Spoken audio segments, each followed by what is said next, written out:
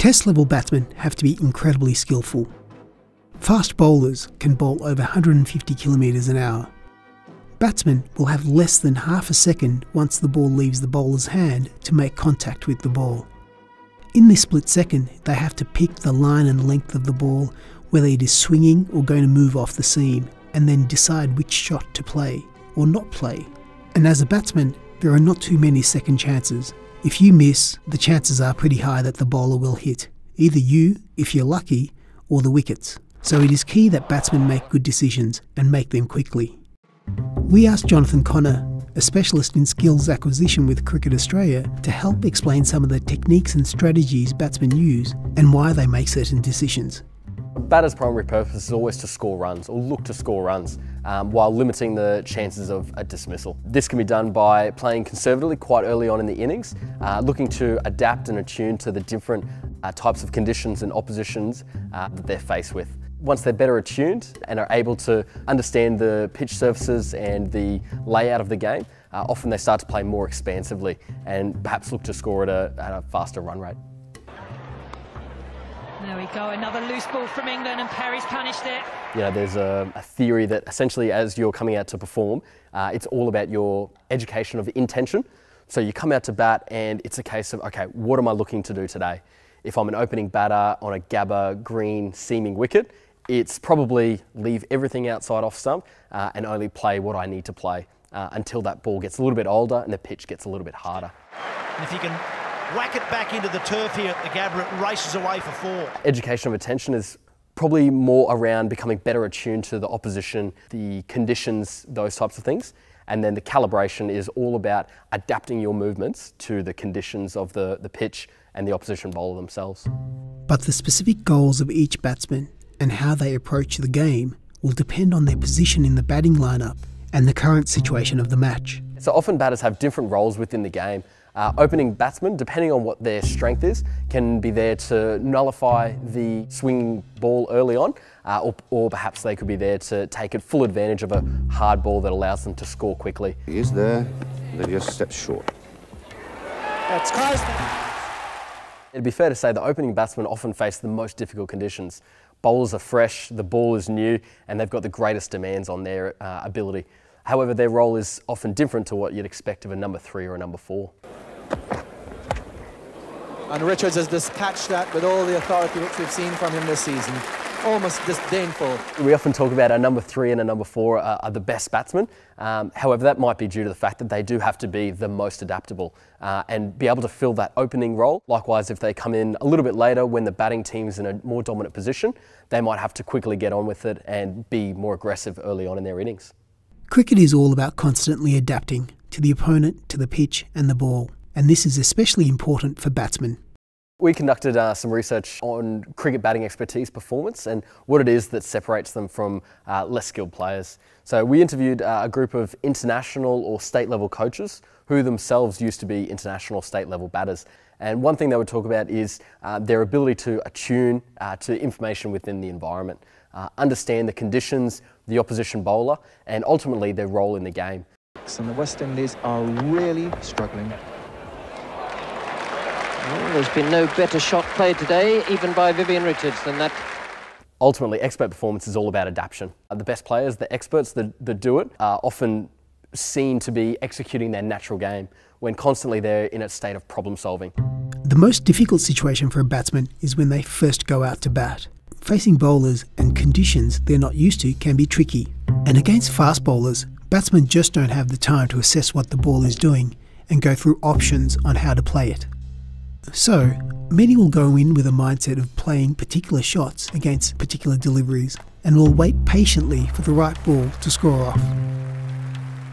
Cricket batting in general is incredibly difficult in terms of the time demands that fast bowlers often put on batters fast bowlers in Australia often bowl anywhere between 140 to 150 kilometres an hour. Often what batters might try to do is employ a particular game plan um, where they're looking for a particular type of delivery to be bowled to play a shot. And every other type of ball, whether it's you know good length just outside off or a ball going down leg, you'll have a particular uh, shot that you're looking to employ. As batsmen become more accustomed to the, the pitch surface and the opposition, they might look to expand their game and start to play different shots to different length deliveries. Does she get it over the top of Ecclestone? She does. That is a sign if ever I saw one. It's all about managing risk versus your reward and understanding what type of shots you can perform today at different periods of the game. So whether it's dotting up a ball until it becomes older and stops swinging and allows you to play your more expansive game perhaps. To do this ball after ball takes an amazing amount of concentration and it can be mentally exhausting. So batsmen need to be able to switch off and then switch back on quickly.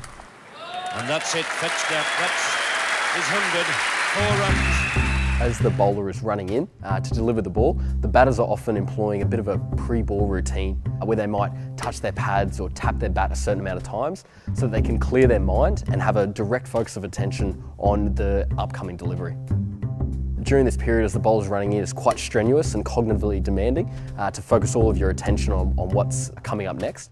In between balls, as the bowler's walking back to his mark, often batters employ uh, a between ball routine that allows them to immediately reflect on the ball that just happened uh, and what it means for the context of the game. Then they'll often relax uh, and think about task relevant thoughts perhaps do some gardening, look into the field, and then finally they'll have like a refocus period uh, where they might uh, basically start a bit of a pre-ball routine, stepping onto the crease, adjusting their pads, their gloves, uh, and getting ready for the next delivery. One of the things that really surprised us uh, was the consistency in their between ball routine. While some people might call it superstitious, uh, it was very much a consistent habit that allowed them to refocus uh, their efforts onto the task at hand. And when the bowler is coming in, batsmen do not just focus on the ball. They take in a surprising amount of information even before the ball is bowled. Left, very well left, and the crash helmet falls off his head. So a lot of batters talk about sort of different cues that help them to anticipate the, the line and length of the ball. Uh, subconsciously, we sort of think that the point of release is, is a really informative area. Uh, however, far more interesting stories are the ones where batters talk about uh, the bowler at the start of their run up might stick their tongue out or smile, and they know that what's coming is going to be a short ball or an in swinger. Uh, likewise, other research has looked at uh, the anticipating the kinematic cues of the opposition uh, by using video screen and asking the batters what the line and length of the ball might be once they've occluded the video uh, just before the ball is released. While they look at the ball, um, we often see that they draw information from kinematic movements of the bowler. Uh, because when we get rid of them, uh, we see that their anticipation drops. Uh, this has highlighted some pretty incredible information about how batters are able to pick up advanced visual information from a bowler's action. Test level batsmen develop and refine these techniques and strategies over many years. It is not about talent, but about hours and hours of practice and determination. So a really interesting thing about expertise in, in a lot of different sports is that expertise isn't derived from any particular, uh, let's say, hardware advantages. So they don't necessarily have better reflexes or better eyesight. It's literally about their uh, motivation, dedication and uh, adaptation to basically the opposition and, and game itself. Experts are certainly not born, but something that's developed through hours and, and, years of practice. And specifically, practice that allows them to be able to track a moving ball and couple their movements with both the trajectory uh, and the context of the game. So net practice is probably one of the most common sort of practice methods employed by coaches and players to develop their skill. While it offers some advantages logistically, allowing great amount of volume, uh, less players need to be involved, it does have some drawbacks which uh, are probably better suited towards more centre wicket practice.